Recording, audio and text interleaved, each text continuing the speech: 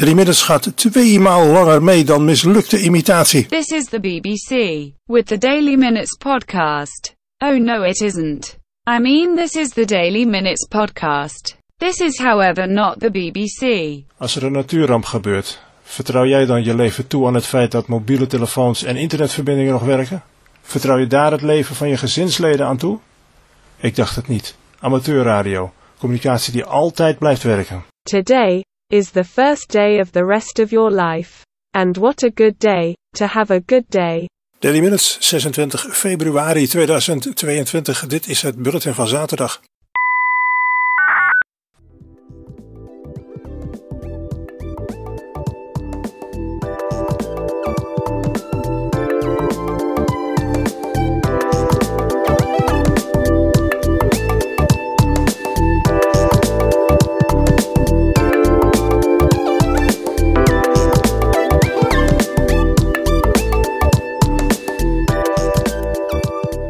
Daily Minutes, 26 februari 2022. Dit is het bulletin van zaterdag. Ik kijk even, het is uh, zes dagen geleden dat ik de laatste Daily Minutes maakte. Wat komt er terecht van mijn dagelijkse Daily Minutes? En ik denk steeds van, nou ja, ik kan het wel één of twee dagen uitstellen. Maar ja, zes dagen is wel weer wat veel. Een slok koffie, anders is het koud. Um, en is de slagroom ook helemaal uitgezakt. Um, dat is wel ongezonde gewoonte. Hé, hey, krijgen we nou dan? Was iets dat ik niet moest vergeten. Maar ik weet dus zo snel niet wat. dat ben ik dus vergeten. Um, oh ja, ja nee, ik weet het wel weer. Maar het, ik kan nog even wachten. En we zien hoor. Oh. Ik stel hem even opnieuw in. Zodat ik het straks niet alsnog vergeet. Ik ken mezelf. Het is niet zo dat ik, uh, zoals net, uh, het dan niet weet. Maar het is wel zo dat ik uh, niet erg goed ben om aan zo'n tijdstip te denken. Dus ja, wat ik te vertellen. Nou, ik heb zo pas, niet vanmiddag, maar zo pas, een kwartier geleden, een filmpje gemaakt van mijn net binnengekomen zonnepaneel waar ik mee wil experimenteren. Ik doe meer met zonnepanelen, maar ik uh, wil dat wat uitbreiden, zodat ik net wat meer uh, capaciteit heb. Nog niet veel voor. Het is niet een, eh, een grote huisinstallatie zoals men zich dat in de toekomst zou voorstellen. Maar het is in ieder geval wel bruikbaar als noodstroom voor bijvoorbeeld de repeater en nog een aantal andere kleine dingen. Maar je kunt er niet het strijkijzer op aansluiten. Dat gaat ongetwijfeld mis. Maar, of een koffiezetapparaat of een oven. Maar uh, ja, wat kleine appliances, dat uh, gaat wel goed. Hè? Een soldeerbout, dat moet lukken. Um, hoe heet het? Eh, de repeater kan erop draaien. Als dit uh, de aardige uitbreiding af is, dan kan de repeater erop werken. Um, en ja, nog wat dingen met slaapapneu, spullen, wat echt wel belangrijk is, dat dat kan draaien. Um, dus ja, wat, wat, uh, wat klein grut kan erop draaien. Dus het is, en, en computers ook, maar dan moet ik toch al wel gewoon zuinig gaan doen. Want ik, dat allemaal tegelijk, dat wordt dan wel weer te veel. Dus het kan zijn dat als ik druk ben met werk, dat ik dan toch de repeater op een wat lager vermogen moet zetten of zo. maar dat is toch beter dan uit de lucht. Dus, uh, maar we moeten nog kijken hoe succesvol het is. Ik heb één, één echt zeer hoog effectief paneel. Maar uh, de andere die zijn gewoon behoorlijk uh, naar huidige maatstaven. Maar die zijn niet zo als dat ding. Maar dat ding dat was verkeerd geprijsd. Dat was wel een bijzondere. Uh, zo'n aanbieding krijg ik niet nog een keer. En die heb ik al een poosje, dus dat is wel leuk. Um, ja, dus, maar goed, het is een van de, een van de radio-experimenten. Eigenlijk, ja, of techniek-experimenten. Maar toch in het kader van, van de radio-hobby. Gescripte uitzendingen, ik heb er even nog geen tijd voor. Het is al, ja, af en toe is het toch wel erg druk. En dat is goed, want een keer rinkelt de kassa ook. Maar ik kom zelfs aan werkdingen niet toe die belangrijk zijn. Dus ja, om dan uitgebreid te gaan knutselen. Maar aan de repeater moet het nodige gebeuren. Um, morgen, als het goed gaat, ga ik zagen voor het eh, dakluik eindelijk. Nou ja, ik roep dat al tijden, maar dat gaat wel gebeuren. Ik denk dat uh, zonnepanelen die ik nu heb, uh, ik, vermoed dat ze ook te groot zijn. Maar uh, ik wilde het eigenlijk eentje op het dakluik hebben ook nog. Waar mijn, wat, want mijn antenne staat maar een klein deel van de tijd buiten. Maar ik denk dat het toch een iets kleiner paneel moet hebben dan deze. En ook vooral lichter, want het luik is al best wel zwaar. Veel zwaarder dan het vorige luik dat ik had. En die moet ik uh, erop tillen. Het is wel mooi dat hij dan niet wegwaait. Dat lukt niet zo makkelijk met, uh, met dit gewicht. Maar dan wordt hij nog. Uh, ik bedoel, die panelen die ik nu heb, die zijn 4 kilo. Dus dat is toch wel veel.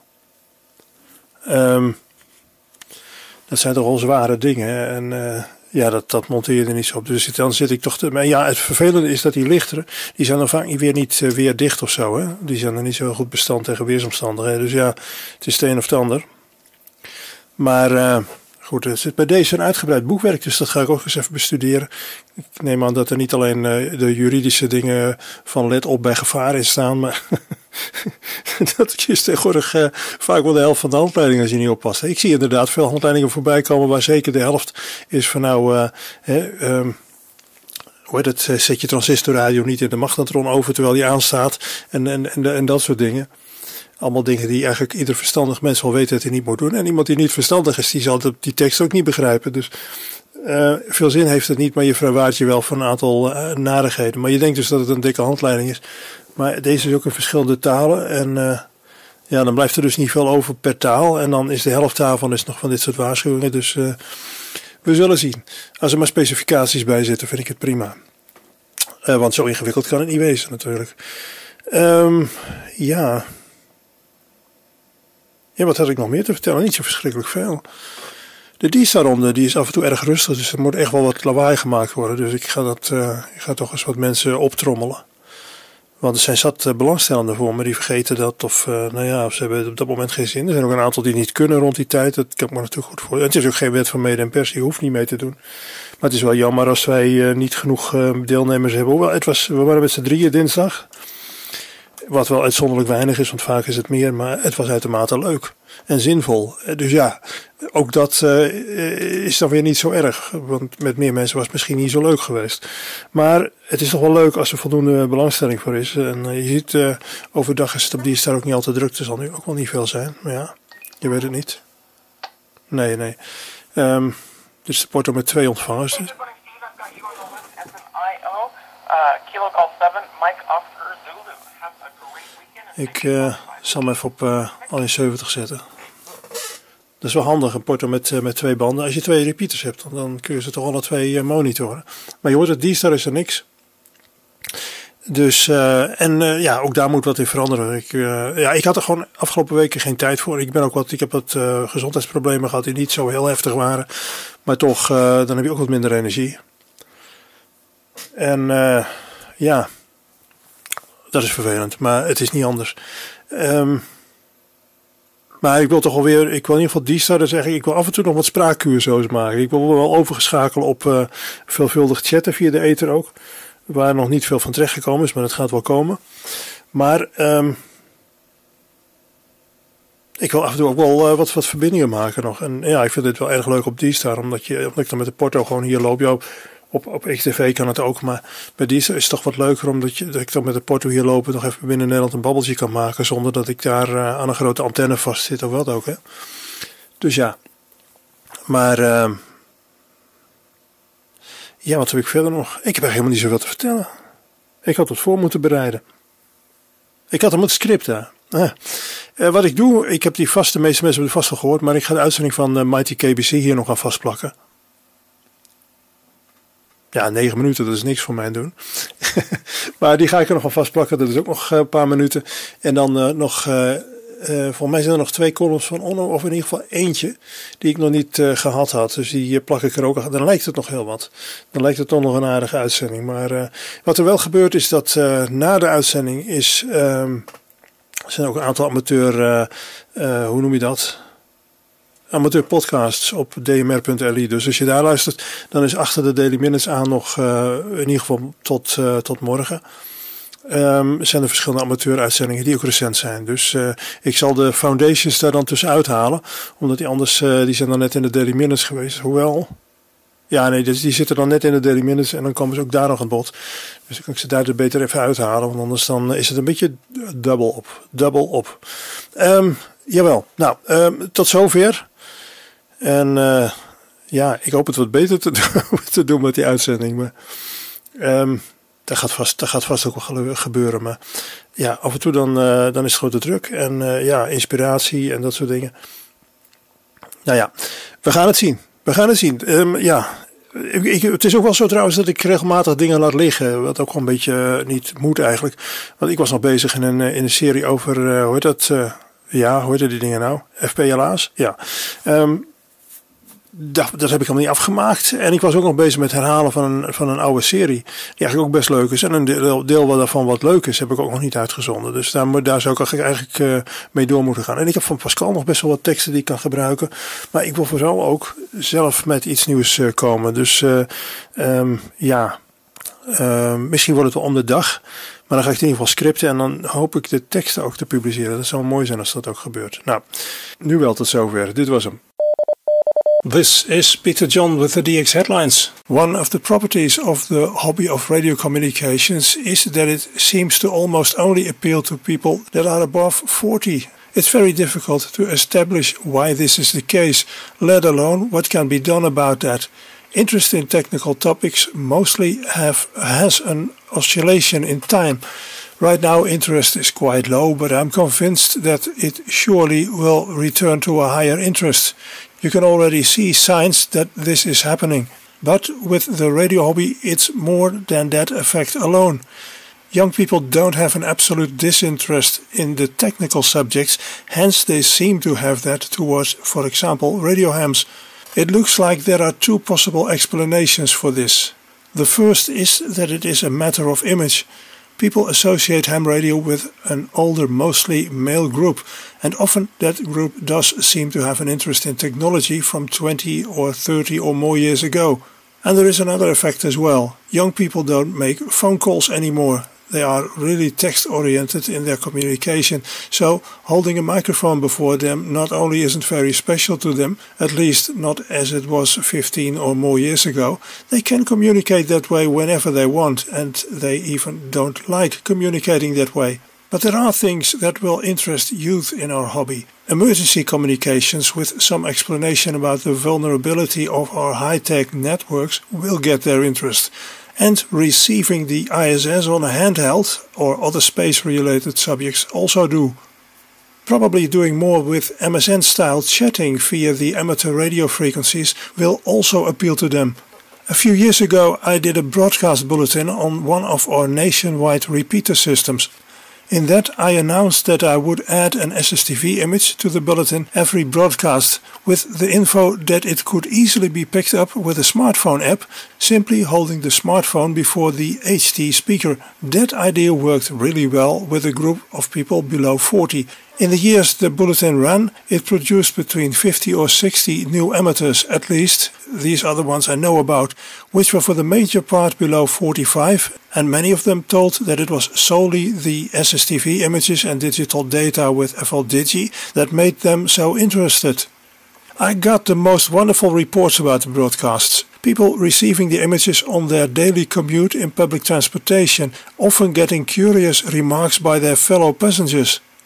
Quite a few had a slumbering interest in communication already and had bought a second-hand police scanner in a thrift store for a few euros. They picked up the repeater system while scanning the amateur frequencies and then came across these mesmerizing tones that could be decoded into real images. So there really are some things that work in getting a younger generation hooked onto our hobby. This was Peter John for the DX headlines on the mighty KBC.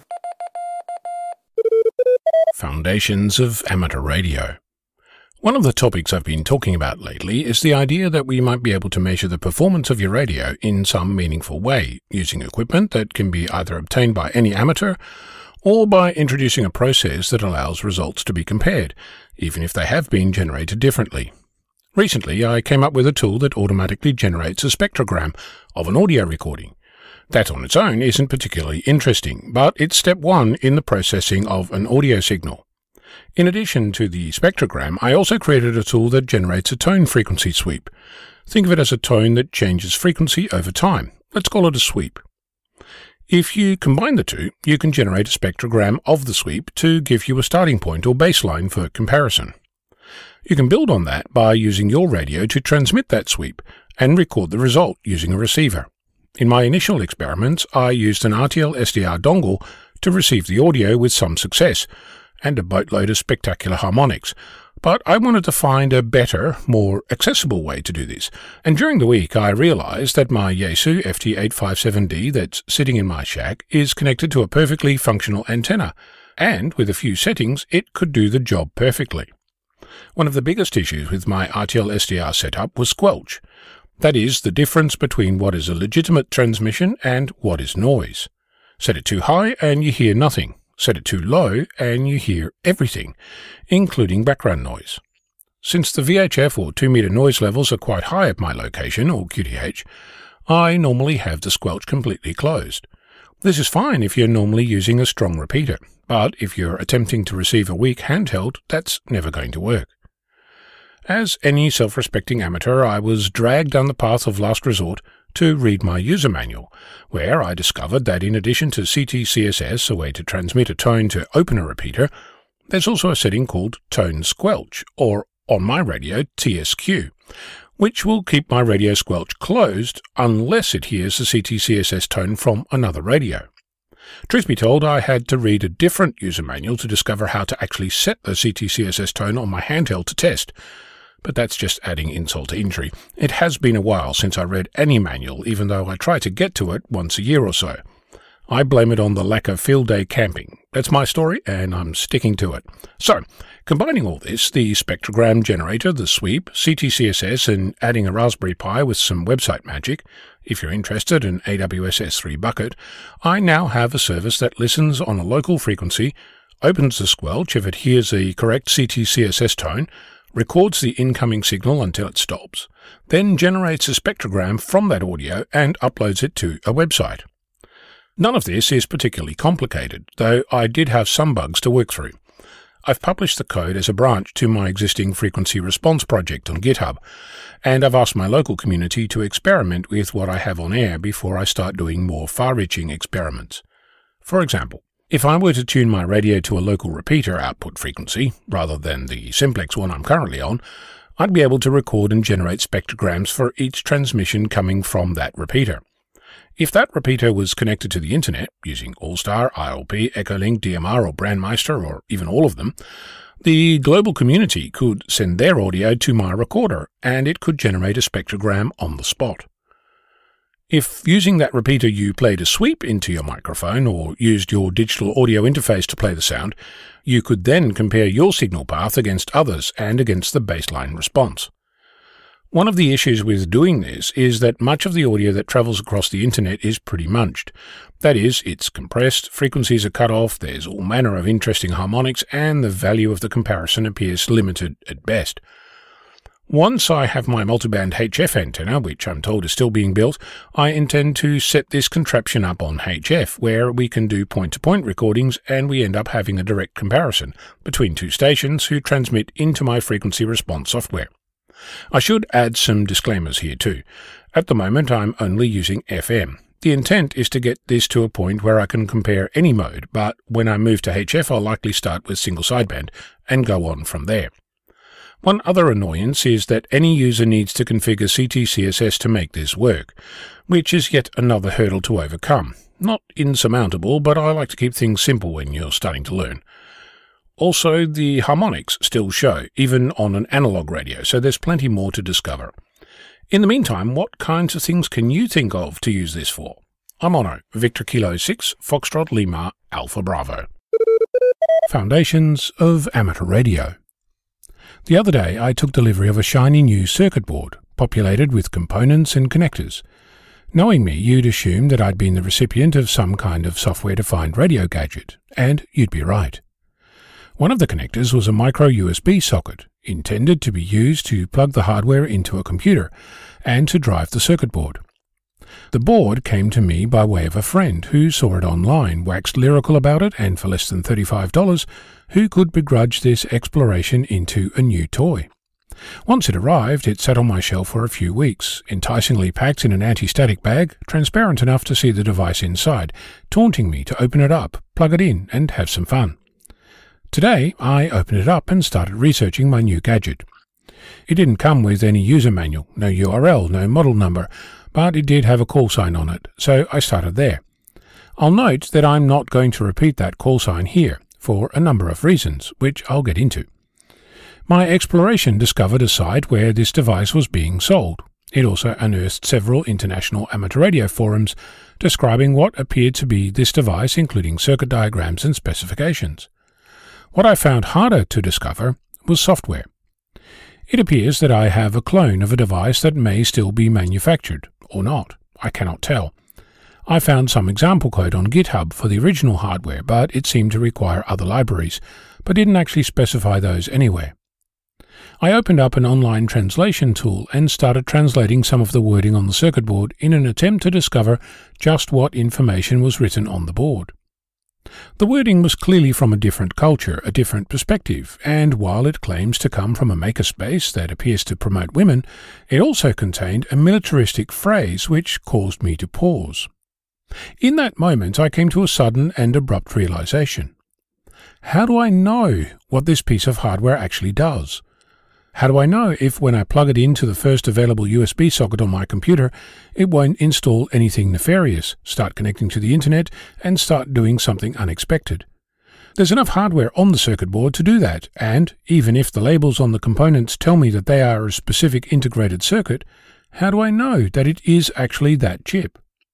The chips on this circuit appear to have a lot more connectivity than a simple receiver might warrant. One has 40 pins, the other 32. If the label is accurate, the datasheet for one of the chips indicates that it includes an 8-bit microcontroller among its various functions. I'll admit that I'm coming from an IT security background at this, and you're free to argue that I'm being paranoid. But does that make me wrong?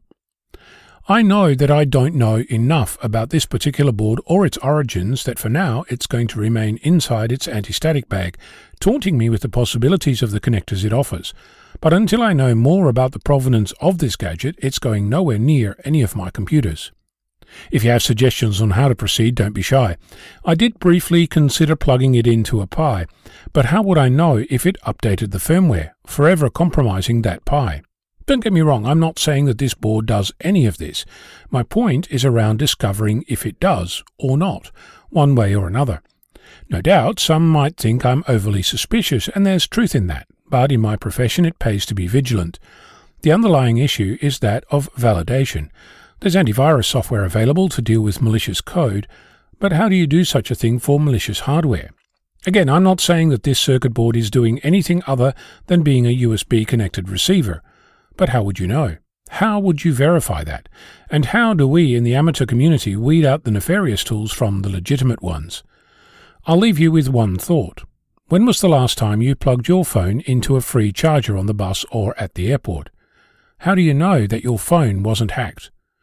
I'm Onno, Victor Kilo 6, Foxtrot Lima, Alpha Bravo. Title music is by Croatian artist Blasko and is published under Creative Commons. Disclaimer Everything in this podcast, including the accompanying material, as a principle, is basically all fiction, although elements of reality may have been incorporated. However, real things included in it may have been exaggerated or not, or may have been placed out of context. No rights can be derived from the content, nor is creator responsible for any consequences of the content. You can find this podcast on dmpodcast.net, DM is for Daily Minutes, and on several other platforms. De internetfaciliteiten en studiohardware voor Daily Minutes worden gesponsord door 70mhzshop.nl. 70mhzshop.nl. Daily Minutes Podcast. Whoever hears this is crazy. En microfoon naar retour. Deze uitzending wordt opgedragen aan Jurgen van der Broek, ON3JVB, voor altijd de joker van België.